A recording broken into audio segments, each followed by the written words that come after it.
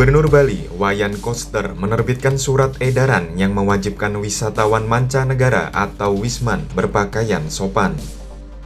Tak hanya itu, surat edaran tersebut juga melarang mereka untuk memanjat pohon yang disakralkan di Pulau Dewata. Koster mengatakan surat edaran ini sesuai dengan arahan Presiden ke-5 RI Megawati Soekarno Putri. Selain itu, sebagai langkah awal untuk menghadapi beragam ulah turis asing selama berada di Bali. Ya, eh, bagi wisatawan mancanegara yang dituangkan dalam surat edaran Gubernur Bali nomor 4 tahun 2023 yang telah dibahas secara bersama-sama Bapak Kapolda, Bapak Kabinkumham, BRI dan semua pelaku usaha pariwisata di Provinsi Bali.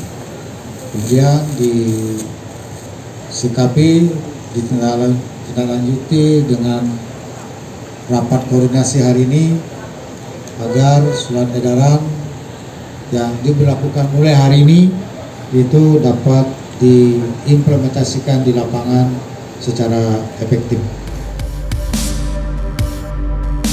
Kewajiban bagi Wisman dalam surat edaran tersebut yakni memuliakan kesucian pura, pratima, dan simbol-simbol keagamaan yang disucikan. Selain itu, menghormati adat istiadat, tradisi, seni dan budaya, serta kearifan lokal masyarakat Bali dan memakai pakaian yang sopan dan wajar. Kemudian, berkelakuan sopan di kawasan suci, kawasan wisata, jalan raya, dan tempat umum lainnya. Adapun larangan bagi Wisman, yakni memasuki tempat suci seperti pura dan pelinggi. Kemudian, memanjat pohon yang disakralkan atau menodai tempat suci dan tempat yang disucikan, pura, pratima, dan simbol-simbol keagamaan. Koster menambahkan, turis asing yang melanggar surat edaran ini akan dikenakan sanksi dan ditindak secara hukum sesuai undang-undang yang berlaku.